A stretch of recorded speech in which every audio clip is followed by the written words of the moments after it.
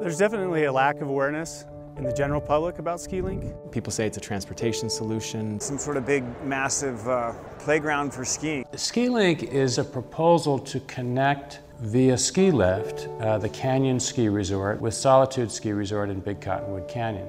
It's got also this threat of a congressional action which would override the Forest Service, force the Secretary of Agriculture to sell public lands to a developer.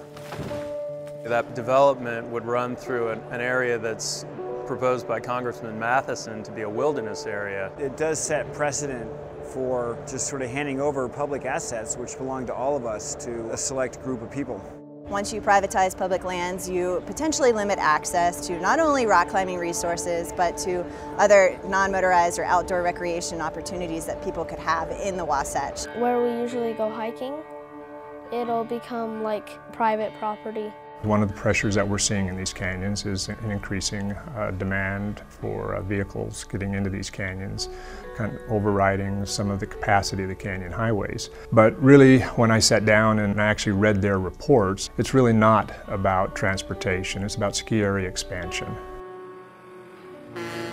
They're trying to wrap it as this transportation initiative and that's really not the truth because you've got to take five lifts within the canyons and a $100 lift ticket to get up there. So there has to be some other reason why they want to do this. On its own, it may just be one proposal from one ski resort to another, but they've mentioned that that's only the first step in a series of lifts that they're trying to put in to connect all of the resorts in the Wasatch. Basically what you're doing is you're, you're putting this infrastructure into pristine backcountry, and how are you going to get it out if it doesn't work?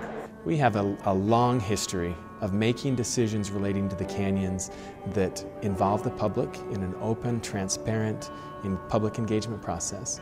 And one of my biggest concerns with SkiLink is that that public process is missing. They've kind of gone around all of the local governments and they're uh, doing it as a purely political process. It's sad that the public hasn't been included. The public definitely needs to have an input. This is our land.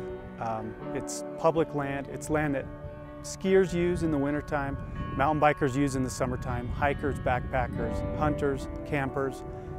Different people from all different walks of life love to recreate in Big Cottonwood and Little Cottonwood Canyon. If we lose the qualities of these mountains today, uh, it'll never return.